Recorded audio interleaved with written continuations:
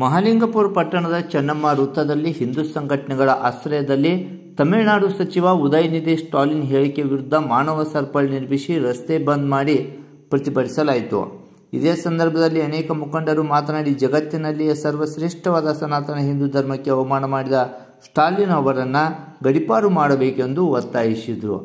ಸ್ಟಾಲಿನ್ ಅವರು, ಸನಾತನ ಧರ್ಮ ನಾಶದ ಕುರಿತಂತೆ ಹೇಳಿದ ಹೇಳಿಕೆ ವಿರೋಧಿಸಿ ನೂರಾರು ಸಂಖ್ಯೆಯಲ್ಲಿ ಹಿಂದೂ ಯುವಕರು ಭಾಗಿಯಾಗಿ ಪ್ರತಿಭಟಿಸಿದರು. ಇದೇ ಸಂದರ್ಭದಲ್ಲಿ ಉದಯನಿಧಿ ಭಾವಚಿತ್ರಕ್ಕೆ ಬೆಂಕಿ ಹಚ್ಚಿ ಆಕ್ರೋಶವನ್ನು ಹೊರಹಾಕಿದರು. ಪ್ರತಿಭಟನೆಯಲ್ಲಿ ಬಿಜೆಪಿ ಹಿರಿಯ ಮುಖಂಡರಾದ ಬಸನಗೌಡ ಪಾಟೀಲ್, ಮಹಾಂತೇಶ್ ಹಿಟ್ಟಿನ್ಮಠ್, ಮಹಾಲಿಂಗ ಕಂಕಣವಾಡಿ, ಶಂಕರಗೌಡ ಪಾಟೀಲ್, ಮನೋಹರ್ ಶಿರೋಳ್, ಹನುಮಂತ್ ಜಮದಾರ್, ಸುವರ್ಣ ಆಸಂಗಿ, ಸಚಿನ್ ಕಲ್ಮಾಡಿ, ಅಭಿ ಲಮಾನಿ ರಘು ಪವಾರ್ ಸೇರಿದಂತೆ ಅನೇಕ ಹಿಂದೂ ಕಾರ್ಯಕರ್ತರು, ಬಿಜೆಪಿ ಕಾರ್ಯಕರ್ತರು ಸೇರಿದಂತೆ ಯುವಕರು ಭಾಗಿಯಾಗಿದ್ದರು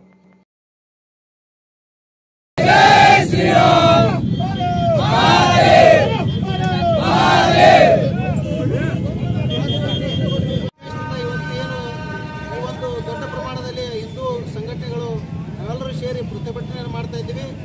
ಇವತ್ತು ಇಡೀ ಜಗತ್ತಿನಲ್ಲಿ ಯಾವುದಾದ್ರೂ ಧರ್ಮ ಅತಿ ಪ್ರಾಚೀನವಾದದ್ದಿದ್ರೆ ಅದು ಸನಾತನ ಹಿಂದೂ ಧರ್ಮ.